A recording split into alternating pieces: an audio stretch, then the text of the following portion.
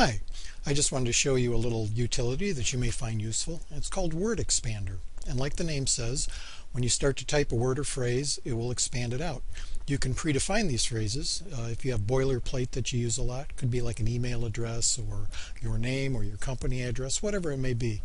Um, this is useful. There's other tools out there that are free as well that do the same thing, uh, such as Texter, That's a very popular one. Uh, but this is my current favorite. This comes from the uh, medical transcription world. They have a commercial product, Phrase Expander, that you know has more features. Um, it has uh, some phrase libraries, which I don't find that useful because they're all you know medical. Go figure. Um, it also has English autocorrections. I don't use that either because uh, Word and a lot of different software in Windows already does that. and It does it probably a bit better.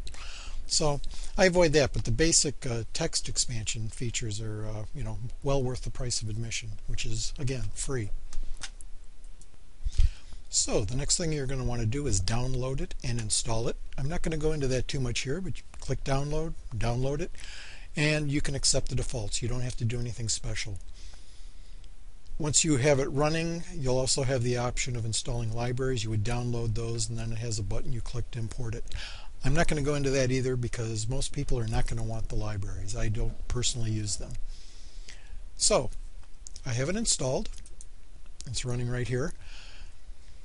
Uh, I did some phrases already. I just put these in just as examples and get rid of this.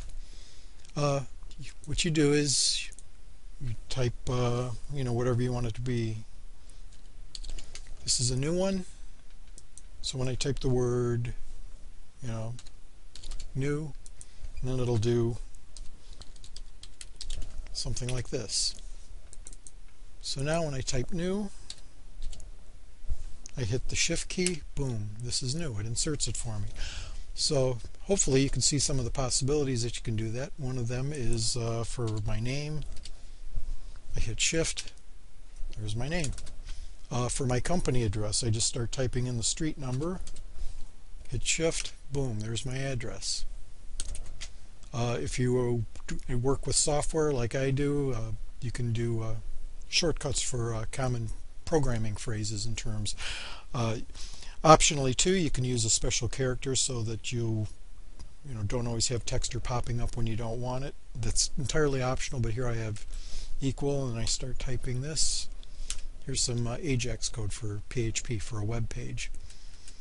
Um, you, uh, very useful thing to do is canned responses. Like for instance, we run a help desk, so I have different canned phrases. You know, we are looking into your problem. We'll get back to you, or whatever it is. Uh, in this case, uh, I use the equal sign again, CR for a generic canned response I just made up. Hit the shift key, and dear associate, say if you're the HR department, thank you for contacting us. We have already assigned a representative. You know, blah blah. So hopefully uh, you have some use for this. Uh, if so, this is a great uh, way to go. It can save you a lot of time, and especially for canned responses. Frankly, that's mostly what I use it for. And also, I, I work with Linux a lot, so I do have a lot of canned phrases when I'm working with a, with a Linux uh, terminal, which you may or may not need. So at any rate, that's text, uh, not Texter, but Word Expander. And you can also use Texter. That's another one again. I used to use that, but uh, currently this is my favorite. Good luck. Thanks.